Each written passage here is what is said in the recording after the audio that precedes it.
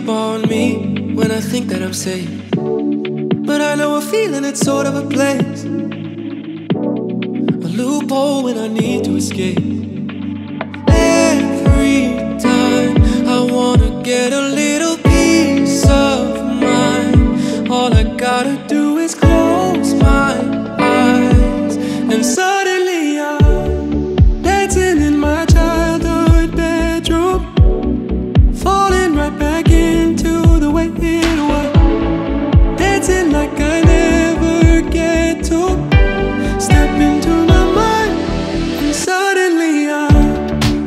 In the chaos and out of my head.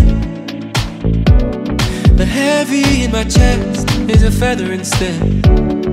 Better equipped for whatever comes next. And if I need to, I can go there again.